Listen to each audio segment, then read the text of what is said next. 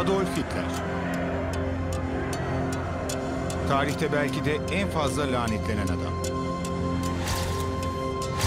Führer'in intiharının detayları ve tuhaf ölüm sonrası yolculuğu 1945'ten bu yana rivayet, gizem ve yanılsamalarla gizlenmiştir.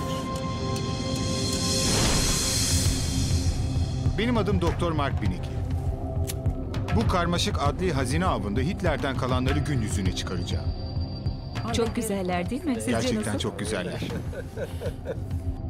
Ve yaklaşık 100 yıl önce KGB arşivlerine gizlenmiş sırları çözmemde bana eşlik edin.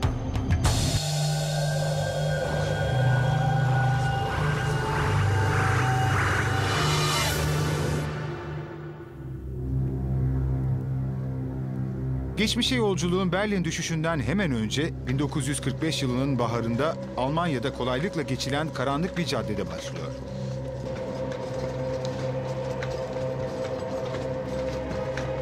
Araştırmam beni ilk olarak Washington Soykırım Müzesi'ne, oradan Zürih'e ve son olarak da derin bir çalışma için eski KGB arşivlerine götürecek. Araştırmama başladığımda Hitler'den kaldığı bilinen, her şeye hiçbir engelle karşılaşmadan erişebilen ilk batılı bilim adamı olacağım konusunda çok fazla bilgim yoktu. Güzel kutu.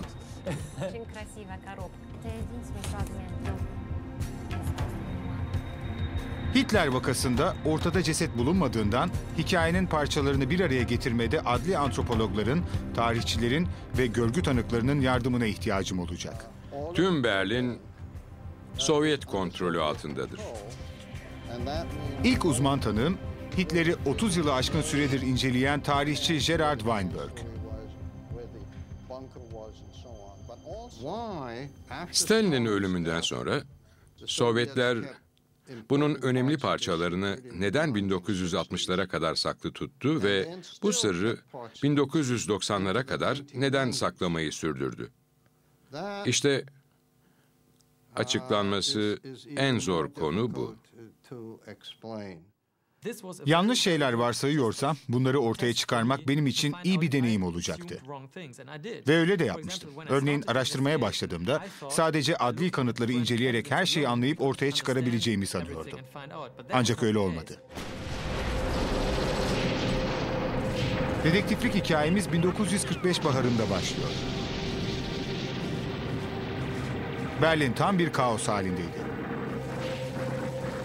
30 Nisan'da Kızıl Ordu askerleri Hitler'in sığınağını kuşatmıştı. Üçüncü İmparatorluk'ta dağılınca Führer şehrin derinliklerine saklanarak kendine özgü son eylemini gerçekleştirmişti. İntihar. Dört gün sonra zafer kazanan ordular sığınağın dışında feci halde yanmış iki ceset keşfettiler. Gizli bir Rus otopsisi ölülerin Adolf Hitler ve Eva Braun olduğunu tespit etti. Ancak Sovyet lider Joseph Stalin bu kanıtı tüm dünyaya göstermek yerine sakladı ve modern zamanların en uzun süreli gizemini yarattı.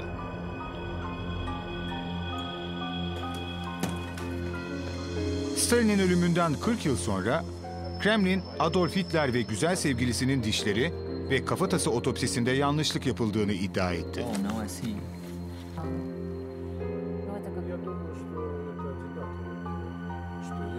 Bu haber cevaplar yerine yeni sorular yarattı. Hitler kendini nasıl öldürmüştü? Kafasına kurşun mu sıkmıştı? Kendini mi zehirlemişti? Yoksa ikisini de mi yapmıştı? Daha da önemlisi bunlar gerçekten de Hitler'den kalanlar mıydı? Başlamak için en iyi yer kanıtlardı. Bu yüzden Moskova'ya bir bilet ayırttım.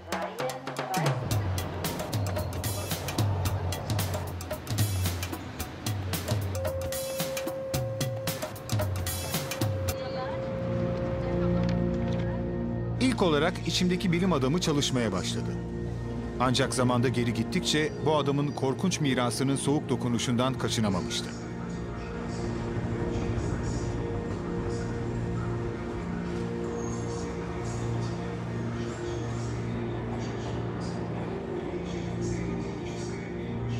Şu an Moskova metrosundayım. Bu tünel Nazi istilası sırasında muhtemelen bomba sığınağı olarak kullanılmıştı. Metroyu çok sevdim. Ben tüm metroları severim çünkü metro gitmeye başladığı anda şehrin bir parçası haline geliyorsunuz.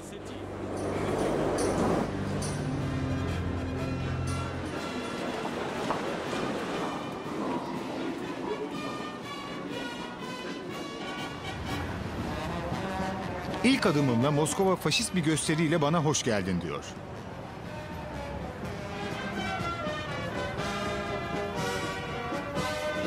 Rus yetkililer çok uzun süre Hitler'den geriye kalanların neonaziler için bir çeşit tapınma objesi haline gelmesinden korktular.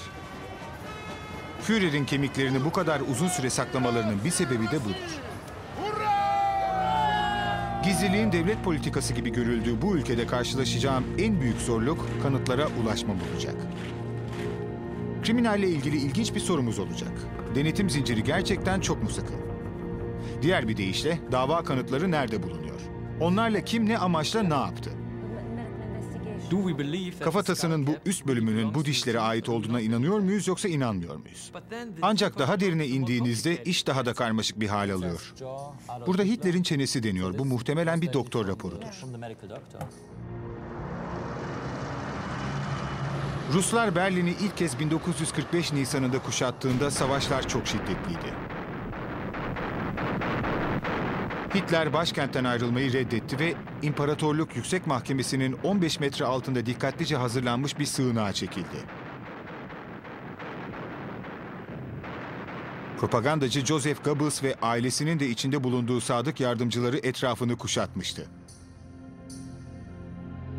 Tarihçi Gerard Weinberg bu sahneleri benim için tasvir ediyor. Savaş sesleri yüzlerce mil öteden gelmiyordu. Sığınağın olduğu bölgeye geliyor ve yukarıya zemine çıktıkları anda kovan, şarapnel, bomba ve yıkılan binalar tarafından öldürülme riskleri olduğunu biliyorlardı. Yukarıdaki kargaşa ve gürültü devasaydı ve yerin altında umut, umutsuzluk, klostrofobi hepsi aynı anda tuhaf bir şekilde yaşanıyordu.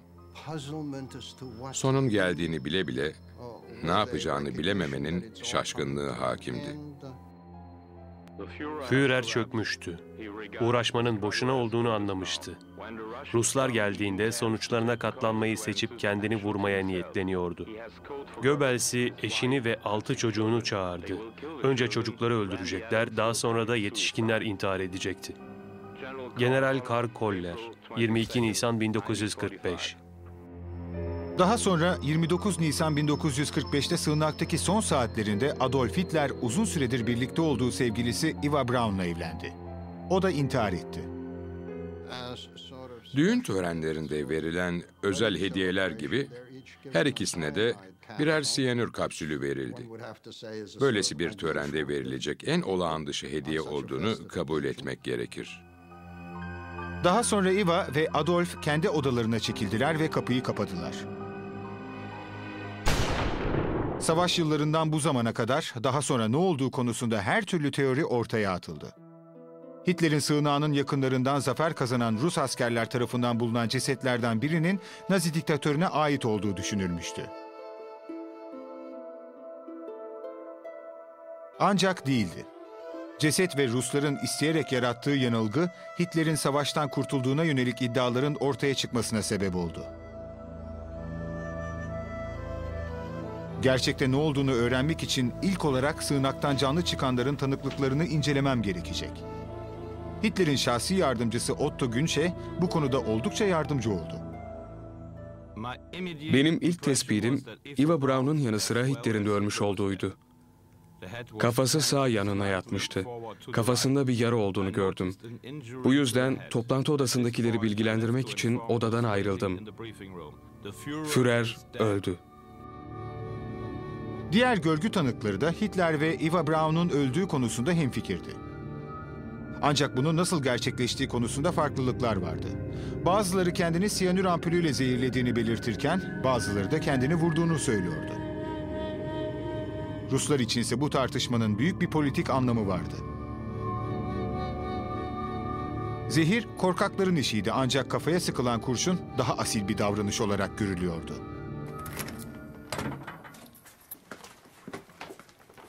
Moskova mahzenlerinde saklı kalan bu kalıntılar Hitler'in ölümünün bu gibi gizemlerini huzura erdirecek mi?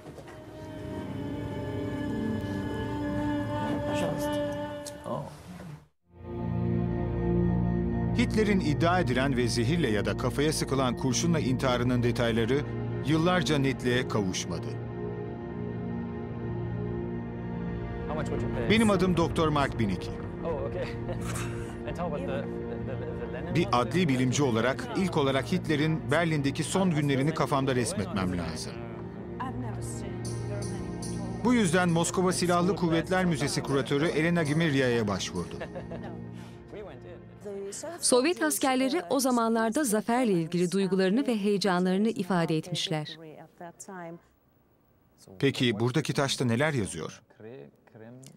Kremela, Evet. Kremlin anlamına geliyor.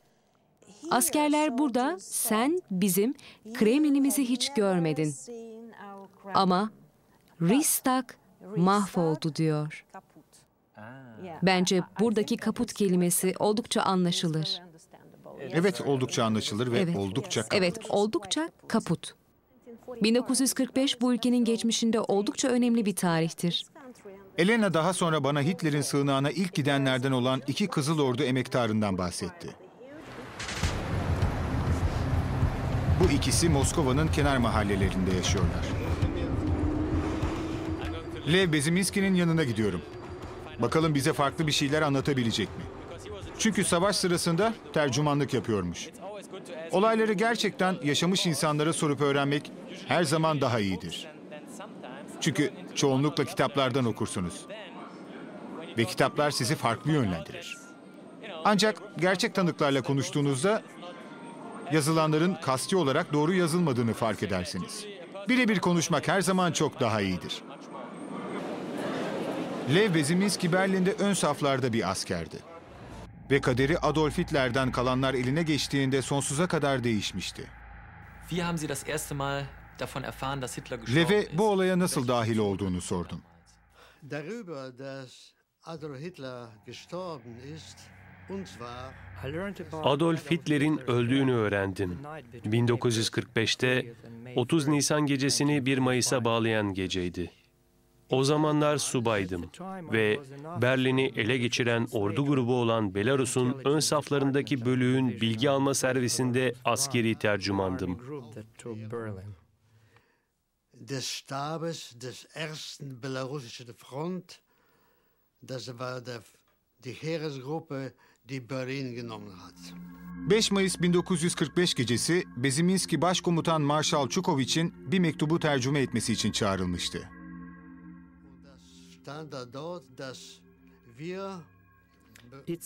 Mektupta bizler Goebbels ve Bormann, Almanların Alman olmayan ilk lideri siz Stalin'e, Adolf Hitler'in öldüğünü bildiriyoruz yazıyordu.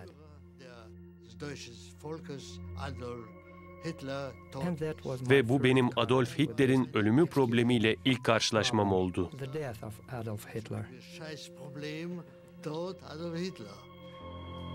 Elena Rişevskaya da o zamanlarda Berlin'de Rusça tercümanıydı. Ve kömürleşmiş iki cesedin çıkarıldığına tanıklık etmişti. Elena bu iki cesedin Eva Braun ve Hitler'e ait olduğunu düşünüyor. Burada çalışan ve buraya giriş izni olan çok az insan arasındaydık. Bahçeye çıkmıştım. Orada Hitler'in sığınağına giden farklı bir giriş vardı. Onları gördüğümde tünelin yanında yatıyorlardı. Yüzü tanınmaz haldeydi siyah bir maske gibiydi. Beni çok etkiledi ama insan olarak değil. Çarpılmış şeytani bir siyah canavar gibiydi. Hitler kendisinin cesedinin de Mussolini'ninki gibi halk tarafından aşağılanmasından öyle çok korkmuştu ki cesedinin tanınmayacak şekilde yakılmasını emretti. End of April. 1945 Nisan'ının sonlarında bunu yapmak için yeterince benzin ya da ekipman yoktu. Yeterince benzin olmadığı için emredilen yangın Hitler'in cesedini ve dişlerini tamamen yakmaya yetmedi.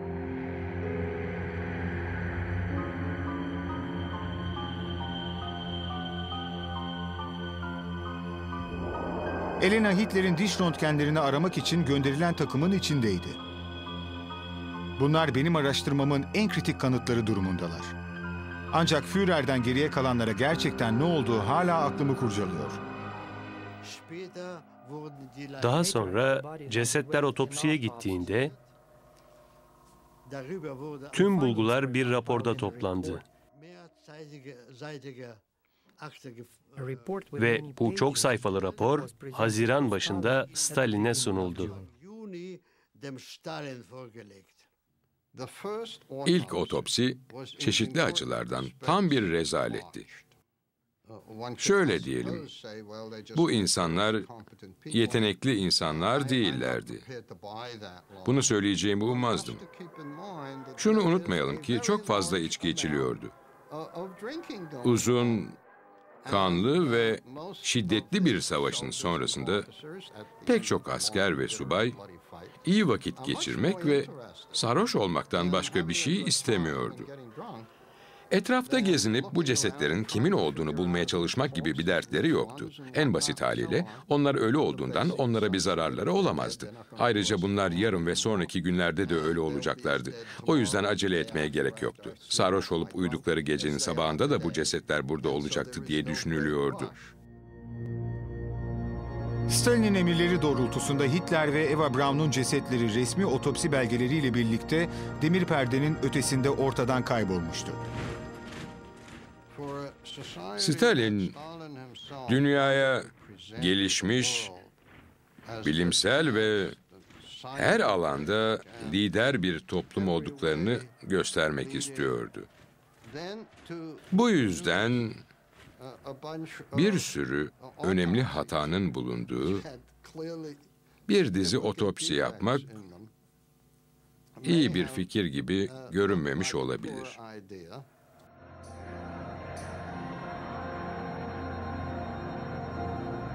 Stalin sadece otopsi sonuçlarını saklamakla kalmadı. Aynı zamanda Hitler'in diş ve medikal röntgenlerini de inkar etti. Alman tanıkları hapse attırarak tanıkları da susturmuş oldu.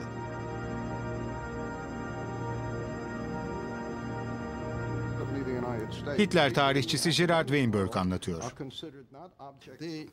Diş kanıtlarının Hitler'in cesedine ait olması başta olmak üzere Hitler'in ölümünün ve cesedinin tespit edildiği gerçeklerinin saklanması, Hitler'in gerçekten yaşadığı ve emperyalist Amerikalı ve İngilizlerden başka her şeyin iyi olduğuna dair tavsiyelerde bulunduğu yolundaki propaganda fırsatlarının yolunu açmış oldu. Böylece dedikodular yayıldıkça yayıldı. Hitler Arjantin'de. Hitler İspanya'da. Stalin'in kendisi General Eisenhower'a bir numaralı savaş suçlusunun bir Alman denizaltısıyla Japonya'ya kaçtığını iddia etti. Stalin'in ölümünden sonra bile bu efsane devam etti. Nihayet 1968'de Lev Bezmenski, Adolf Hitler'in Ölümü adında bir kitapta kayıtları doğrudan yayınlamaya çalıştı. Ancak KGB önemli bir kısım bilgiyi kitaptan çıkarması için onu zorladı.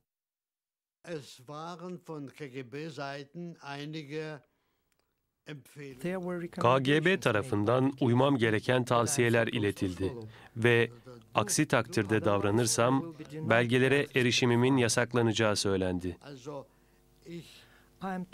Hitler'den geriye kalanların 1945'te yakıldığını yazacaktım.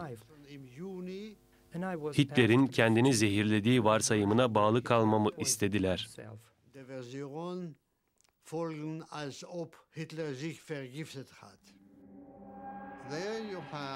İşte burada oldukça belirgin bir siyasi motif var. Bu adam kendini vuracak cesareti olmayan biri gibi gösteriliyor. Kendini zehirleme, zayıf insanların başvuracağı bir yol olarak kabul edilir. Korkusuz bir adam kendini vurur. Bu bana çok ilginç geliyor çünkü tüm bu gizlilik, strateji ve soğuk savaş bu araştırmanın çok önemli bir parçası. Belki de bunu aklımızda tutmalıyız.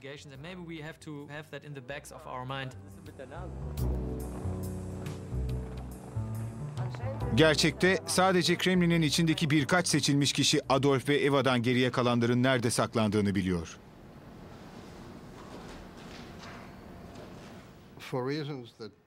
Korkarım bunlar için hiçbir açıklamam yok.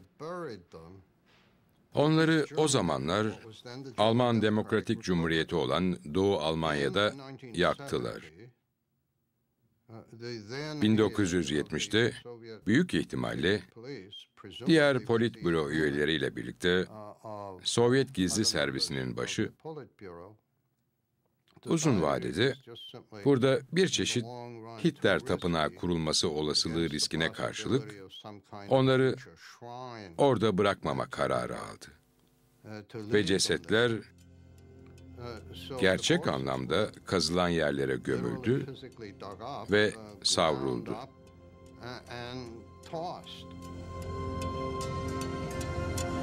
Ancak Adolf ve Eva'nın birkaç parçası yolculuğa devam etti. Hitler'in kafatasının, dişlerinin ve diğer kanıtların gizlice Moskova'ya gönderildiği dedikodusu yayıldı. Bugün Hitler'in kafatasının 1993'te kazara bulunduğunu söyleyen Rusya Devlet Arşiv Merkezi'ni ziyaret edeceğim.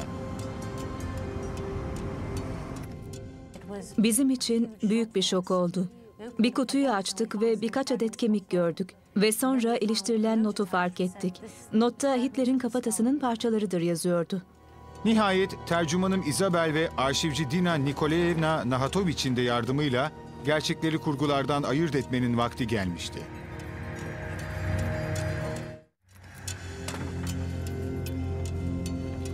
İşte bu. Rusya Devlet Arşivi Merkezi'nin derinliklerinde Hitler'in ölümüyle ilgili yapacağım adli araştırmam için yüksek makamlardan almamın aylarca sürdüğü izinlerle sonunda gerçeğe ulaşacağız. Bir gün burayı toplamaya geldik ve arşivdeki büyük kasalardan birini düzenlemeye karar verdik.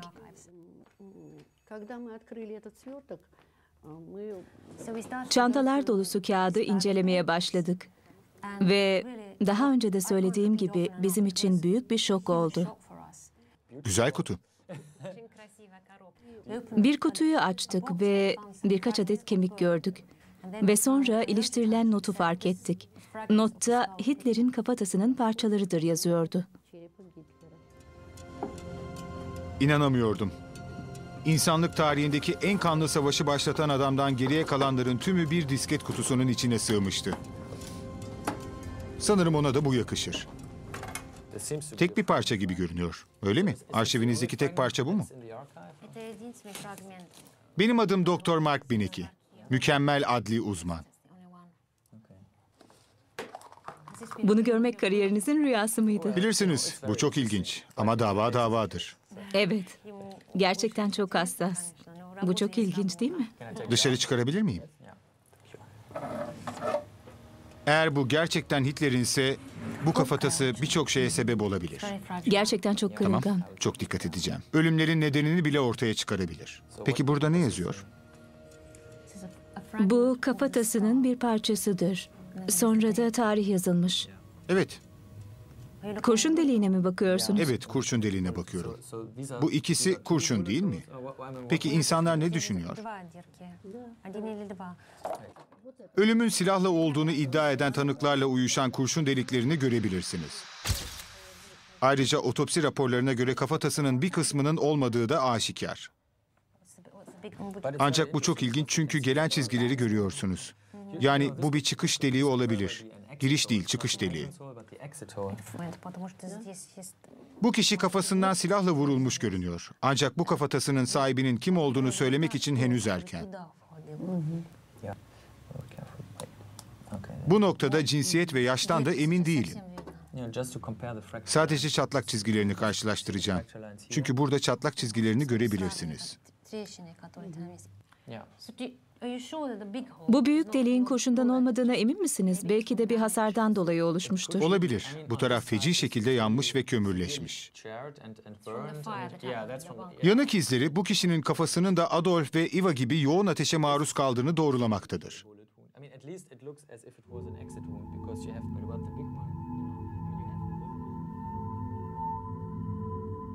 Dina o gün kafatasından başka şeyler de buldu. Kan sıçramış şeritler içeren sedir parçalarını fark etti.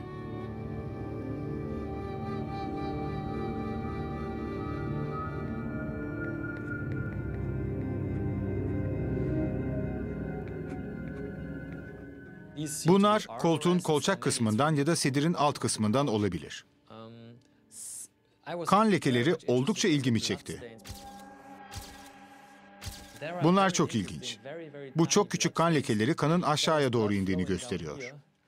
Bu yüzden şimdi onları ölçmeye çalışacağım ve darbenin açısını bulmayı deneyeceğim. Aslında sadece lekelerden sonuç çıkarmaya çalışmıyoruz. Bunları tüm olay örgüsüne ve kaydedilen tüm tarihe de uydurmaya çalışıyoruz. Henüz emin değilim ama bu kumaş büyük ihtimalle sedirin alt kısmına ait. Bu durumda kan lekelerini yorumlamak çok zor olacak çünkü çok silikler ve sanki kumaştan çıkarılmaya ya da temizlenmeye çalışılmış gibi görünüyor. Bu küçük lekelerin en az 20 ya da 30 tanesi kesilmiş ve sanırım biri kan grubunu ya da gruplarını belirlemeye çalışmış. Yani bunlar Eva Braun ve Adolf Hitler'in kanından olabilir. Bilmiyoruz. Bir kişiyi tespit etmek istiyorsanız ve bu en önemli ve yegane işinizse kişinin kan grubunu bulmak işinize yarayabilir. Çünkü kan grubunu tıp kayıtlarından biliyorsanız bunu teyit etmeye çalışabilirsiniz. Kumaşın üzerindeki kan lekeleri çok silik olduğundan sedir parçalarına sıçrayan kandan kalanlarla denemeye karar verdim. İşe yararsa sonuçlar sadece Hitler'in A olan kan grubuna uymakla kalmayacak, aynı zamanda ölüm sebebini de doğrulamış olacak. Eğer Hitler'in kanıysa, kanın onun vücudundan geldiğini varsaymak zorundayız. Çünkü zehirli bir kapsülü ısırmakla insan vücudundan kan gelmez ama kendini vurursa gelir.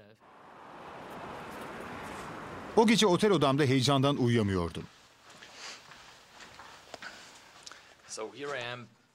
Biraz rutubetli de olsa işte güzel otel odamdayım.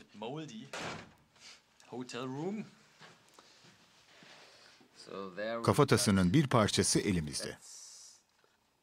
Ben özellikle şuradaki delikle ilgileniyorum. Bugüne kadar bu belgelere sınırsız erişim izni alabilen birkaç batılı bilim adamından biriyim. Daha fazla analiz edilmeyi bekleyen mükemmel bir kanıt hazinesi üzerinde oturuyordum. İki meslektaşımla Washington'da bir toplantı ayarladım. Ve bir kez daha uçağa bindim. Bir adli antropologla görüşmek oldukça önemli çünkü Moskova'dan ilk defa yüksek çözünürlükte fotoğraflar getirdim. Bunlarla istediğiniz kadar çalışabilir ve en ufak çatlak ve çizgiye kadar inceleyebilirsiniz.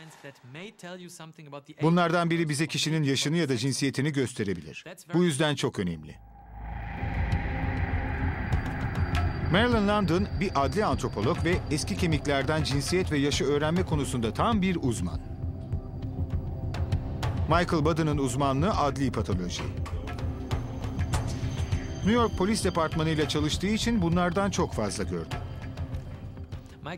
Michael Budden çok ilginç bir kişi çünkü çok fazla olay yeri tecrübesi var. Eksik kalan noktaları kriminal bir gözle doldurabilir.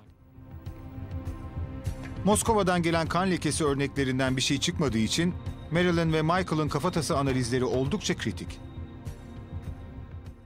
Burası dışarı çıktığı yer. Doğru. Eğim yüzünden. Evet. Kafatasını yerleştirdiğimizde kurşunun hangi yöne gittiğini görüyoruz. Kurşun öyle dar bir açıdan geçmiş olabilir ki gaz patlamış olabilir. Bu ek yerlerinden de görülebilir. Çünkü kafatası oradan ayrılmış. Bir antropolog bir kafatasına baktığında yapmak istediği ilk şey iskelet dokuya ait envanter çıkarmak ve yaşla cinsiyeti bulmanıza yardım edecek herhangi bir özelliği belgelemektir. Erkekler daha büyük olduğundan iskeletlerinin etrafında daha fazla kas kütlesi vardır. Ve kas kütlesi büyüdükçe kas bağlamları da büyür. Bu yüzden elimizdekilerle kişinin cinsiyeti hakkında çok fazla şey söyleyemeyiz. Yan kafa kemiği çok fazla bilgi vermiyor. Art kafanın tepesi de bilgi için çok fazla yeterli değil. Kurşun neden oraya gitmiş? Neden başka bir yere gitmemiş? Anlıyorum. Neden o kısmı saklamamışlar? Bilmiyorum. Ne yazık ki kafatasının yaşını ve cinsiyetini belirlemek için kullanabileceğimiz yeterli özellik yok. Bu yüzden sadece kurşunun nereden çıktığını biliyoruz. Bu kafatasını ve 7.65'lik bu PPK Walter silahını alırsak ve Hitler intihar etmek için silahı ağzına soktuysa ve yukarı biraz sola doğru tuttuysa bu çizgiye uyar. Ağzın üst sert kısmından gider ve bu otopside yanık yüzünden kurşunun giriş izini gizleyebilir. Ve kafatasının sol tarafındaki bu koyu alandan da çıkar. Otopsi raporunda siyanür için ne tür testlerin yapıldığı açıkça belirtilmemiş. Sadece siyanür kokusu aldıkları yazıyor. Evet, sadece Ruslar değil, sığınaktaki insanlar da. Sığınakta kokuyu alabilirler. Ama bu hileli bir iştir çünkü insanların yaklaşık yüzde kırkı bu kokuyu duyabilir. Diğerleri duyamaz. Eğer siyanür aldıysa ölmeden önce kendini vuracak kadar zamanı olur mu? Merlin araştırmamın en kilit sorusunu sormuştu. Siyanür aldığınızda kana karışır ve yayılarak al yuvarların organlara oksijen vermesini engeller. Böylece al yuvarlar oksijenle dolar ancak beyne ya da diğer organlara giremezler. Ve bu da ölüm sebebidir. İçsel boğulma yüzünden öldüğümüzden bu çok çabuk olur. Ancak bir ya da iki dakika sürer. Bu sebeple kapsülü ağzına atıp, çiğneyip, kana karışmasını beklerken insan kendini vurabilir. Peki gördüğün şeyler ve kemiğin elimizdeki yüksek çözünürlükteki resim doğrultusunda tıbbi bir araştırmacı olarak ne düşünüyorsun? Bu kafatasının Hitler'e ait olması muhtemel mi yoksa değil mi? İncelediklerimizden ve Rusların elinde olandan anladığım kadarıyla şu anda bu kafatası parçalarının Hitler'e ait olduğunu söyleyebilecek yeterince kanıt yok. Bunun Hitler'in kafatası olduğunu kanıtlayamadık. Belki öyledir. Bunu sürdürmek ilginç olurdu. Ancak rahatlıkla bunun Hitler'in kafatasının bir parçası olduğunu söyleyebileceğimizi düşünmüyorum. Bunca yıldan sonra bu kafatası parçası kimliğini gizli tutmayı sürdürüyor. Ancak araştırmam henüz sona ermedi. Başka önemli kanıtlar da var. Bunların arasında KGB'nin yıllardır sakladığı iddia edilen Hitler'in dişleri de bulunuyor. KGB'ye gittiğimizde daha çok bir James Bond filminde gibiydik. Bu açık mavi perdeler ve kahverengi ağır koltuklar ve diğer detaylar hiç de gerçekçi durmuyor. Albay Vladimir Vinogradov eski KGB arşivlerinin kuratörü. Çok önemli bir olaydı. Çantaları masaların üstüne koydular ve bir törendeymişçesine açtılar. Bunu görmek ilginçti. Bugün size Hitler'in ölümüyle ilgili dosyaları ve özellikle Hitler'den kalanları getirdik. Çünkü sizin asıl ilgilendiğiniz bu. Sığınakta ne olduğu ve Hitler'in nerede öldüğü.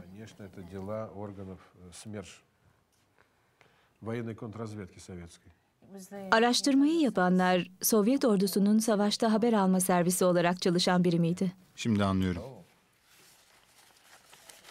Evet.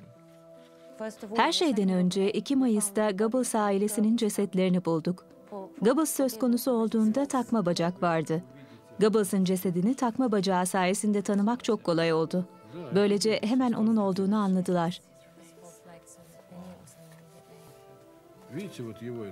Cesetlerini gördüğünüz bu fotoğraftaki çocuklar aslında sığınakta farklı bir yerdeydi. Uyku odalarındaydı.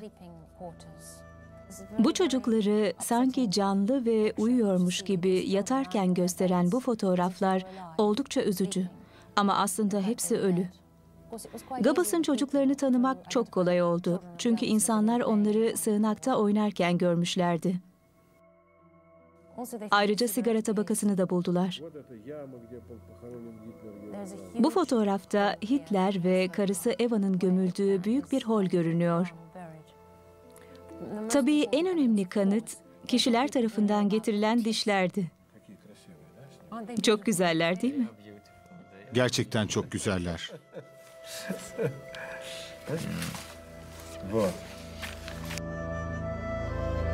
Yanımda karşılaştırmak için kritik kanıtlardan biri olan Elena Rishevskaya'nın 1945'te bulduğu diş röntgenlerini getirmiştim.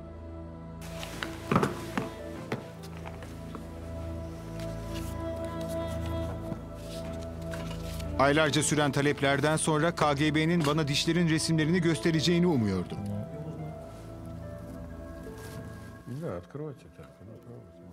İstiyorsanız küçük kutuyu açabilirsiniz. Bana incelemem için gerçek kanıtları vereceklerini hayal bile etmemiştim.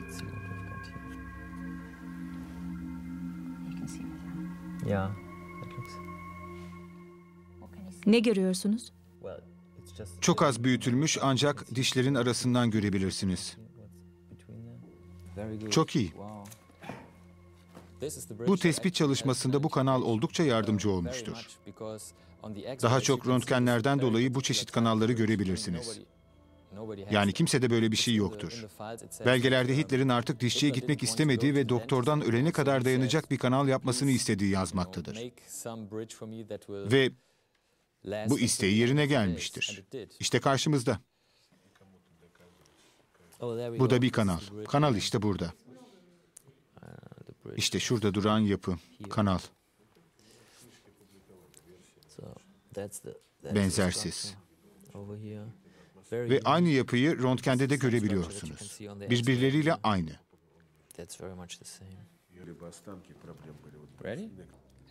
Bir adli bilimci olarak gördüğünüz her şeyi belgelersiniz. Yüksek çözünürlüklü fotoğraflar çekiyorum ve daha sonra onları istediğim kadar büyütebiliyorum. Bunları çok fazla insan göremiyor. Bu yüzden fotoğrafları meslektaşlarımla paylaşıyorum. Benim amacım bu. Bu röntgen Hitler hayattayken 1944 yılında alınmış. Uzman olmayan bir kimsenin bile kolayca anlayabileceği diş tedavisi yapılmış görülüyor. Şuradaki kanal yapısını görüyor musunuz? Buradaki sıkı kanal yapısı buradakiyle uyum gösteriyor. Şuna bir bakın. Buranın tamamı metal kaplama. Çok farklı bir yapı. Bu yüzden üst kısımla uyuşuyor. Burada yukarıda çok ilginç bir şey görebilirsiniz. Her şeyin çok yoğun olduğu bir yerde bir çeşit parlak nokta görebilirsiniz. Bunun sebebi burada gördüğü diş tedavisi olabilir.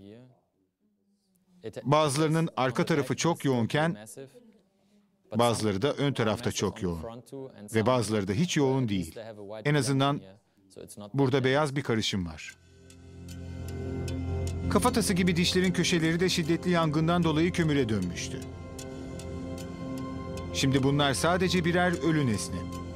Ancak Adolf Hitler bu dişleri en güçlü silahı olan sözlerini söylemek için kullandı.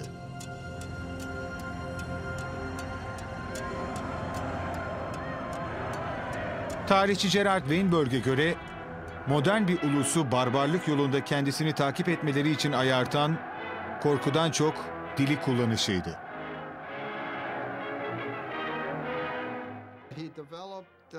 Kurnaz bir idareci haline dönüştü ve böylelikle çok sayıdaki insanı manyetize edip en korkunç olaylara bile çılgınlık derecesinde bir adanmışlıkla katılmaları için onların heyecan ve coşkunluk seviyelerini arttırmak oldukça kolay oldu.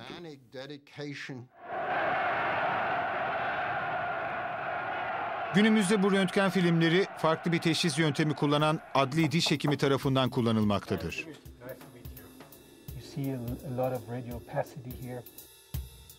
Eğer haklıysa Moskova'da elimde tuttuğum bu dişlerin Adolf Hitler'in olduğu konusunda teyit alabilirim. Röntgenler ve elimdeki yeni kanıt fotoğraflarımla bir sonraki durağım Zürih.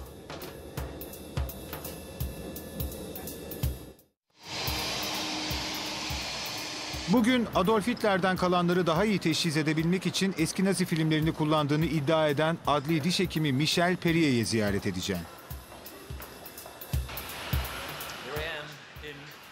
Şu an Zürih Havaalanı'nda Perrier'i Leni Riefenstahl filminde Hitler'in dişinden yapılan ışık yansımasıyla üretilen yansıma modellerini incelemek amacıyla ziyaret etmeye gidiyorum. Leni Alman bir yönetmendir. Hitler'i sürekli olarak yüzünü oynatırken görebileceğiniz bir film yaptı. Hitler'in tüm dişleri ön plandaydı.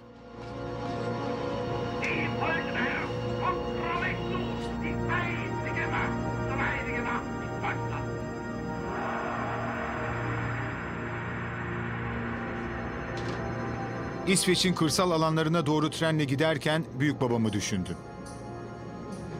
Büyük babam Hitler'in egemenliği sırasında polisti ve babam iki yılını bir mülteci kampında geçirmişti. Bu yüzden kendimi bu konuya çok yakın hissediyorum.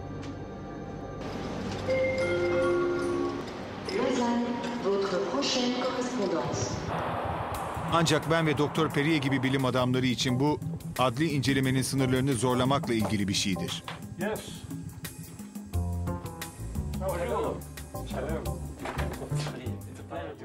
Televizyonda bir film izliyordum. Film, 3. İmparatorluk zamanı ile ilgili bir şeyler gösteriyordu. Bunlarda Hitler'i çok kızgın ve dişlerini göstererek konuşma yaparken görebilirsiniz.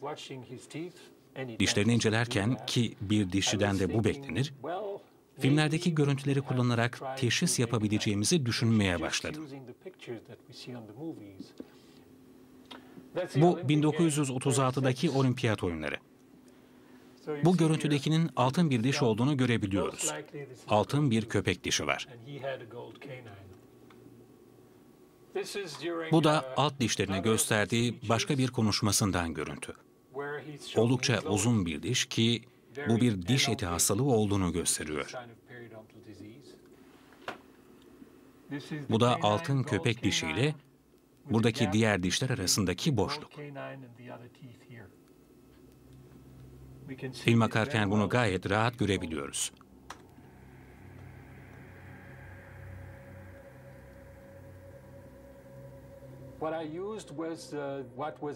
Ben Lev Bezimski'nin kitabında olanları ve daha sonra da röntgenleri kullandım. Burada pek çok radyopasite görüyorsunuz ki bu kanalların çokluğu anlamına gelmektedir.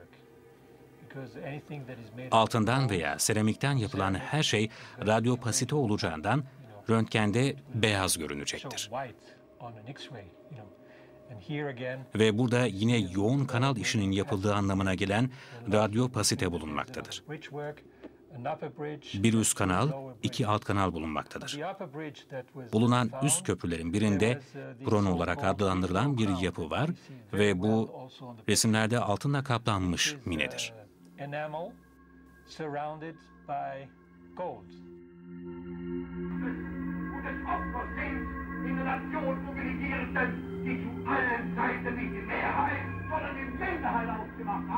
Peri'ye bu röntgenleri alıp Nazi propaganda filmleriyle karşılaştırmıştır. So these are pictures that I took in the former KGB archive. Ve bunlar da benim eski KGB arşivinden aldığım fotoğraflar. Işık vurduğundaki yansıma açılarını hesapladı. Hitler'in dişlerinde çok fazla metal var. Bu yüzden Hitler'in başını nasıl hareket ettireceğine ve ışığın nereden geleceğine bağlı olarak dişlerin hangi kısımlarının görüneceğini hesapladı. Evet, zamanla ve ateşle paslanmış. Bunun için ne kadar yanması gerekiyor? Yani sadece 180 litre benzin kullandığını biliyoruz. Bunun sizce bir anlamı var mı? Evet, evet var. Öyle mi? Biliyorsunuz sadece benzin değil, bomba da vardı.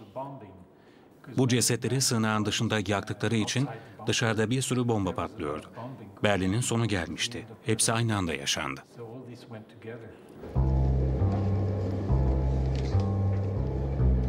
Perrier'in yanından ayrıldıktan sonra yapbozun son parçalarının toplandığını hissediyordum. Perrier'in incelemesi çok ilginç çünkü gerçekten bir şeyler katıyor. Biliyorsunuz komplo teorilerine ve duydukları her şeye inanan insanlar var. Bu yüzden tüm bunlar sahte diyebilirsiniz ancak Perrier'in yaptığı tamamen bağımsız ve kimse bu kanıtı sahteleştiremez. Billeni Riefenstahl'ın Hitler'in konuşma yaptığı filmini hiç kimse sahte olmakla suçlayamaz. Perrier bu araştırmaya son noktayı koydu. Bu dişlerin gerçekten Hitler'e ait olduğunu gösterdi. Ancak kafatası farklı bir hikaye. Var olan kanıtlar pek de ikna edici değil. Adli bir bilim adamının bakışından nihai ve sonuca yönelik bir kanıt elde edebilmek için kurşunun çıkış deliğini gördüğümüz kafatasının üst kısmıyla dişleri birleştirmek gerekmektedir.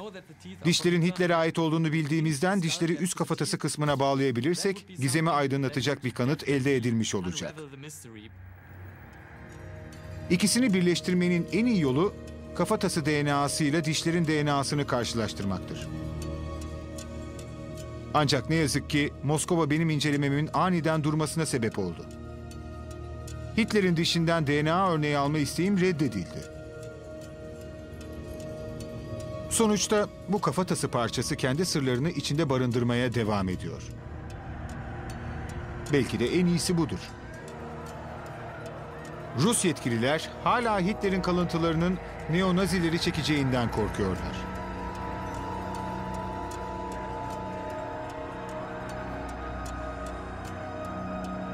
Ölümünden uzun yıllar sonra bile Adolf Hitler'in teşvik ettiği nefret mirası devam ediyor.